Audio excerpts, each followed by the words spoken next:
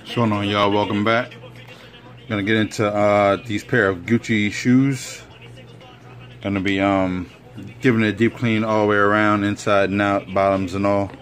Also, is gonna need some paint on the very front, right here on the toe box. Also, some of the paint from the red got removed, so I'm gonna be replacing those. Uh, repainting, not replacing, and uh, the deep clean done. All right, y'all, keep it locked. What's going on, y'all? Gonna get into deep cleaning the shoes. But first, we're gonna get into the laces. Always using Roc-N-Replenish material cleaner. All right, y'all, keep it locked.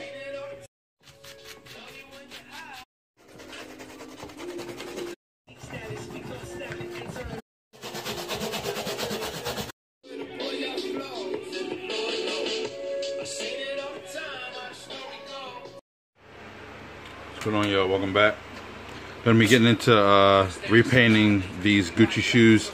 As you can see right here and right here, it's all damaged. And I'm gonna be getting it all repainted uh, back to factory finish. Also, gonna get this scuff out right here. All right, y'all, keep it locked.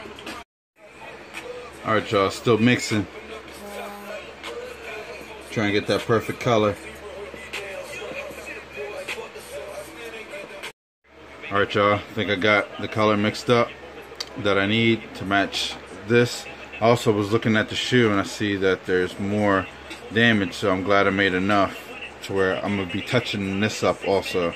I didn't get any before pictures, well I might get one now that I'm talking about it but next video is going to be me painting and finished product so alright y'all, keep it locked.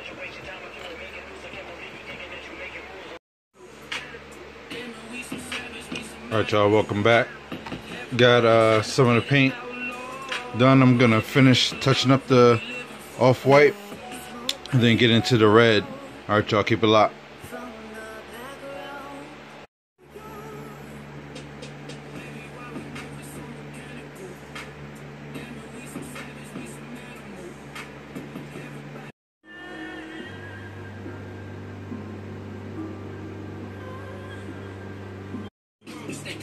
Why I got this tendency. So ignite the herb and get an urge for drinking. Funny when I feel like I'm getting my grip. I hear him and he's tap tap tapping in the back of my mind, reminding me every night like dog.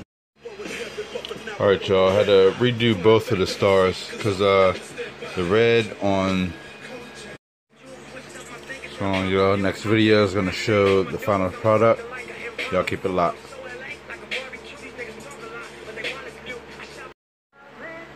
Going on y'all? Welcome back. Just want to show y'all the finished product. As you can see the um, blemish is gone on the front and on the red of the star. Whole shoe has been deep cleaned and got all the surface marks off. I'll be showing you the other shoe in a second. Alright.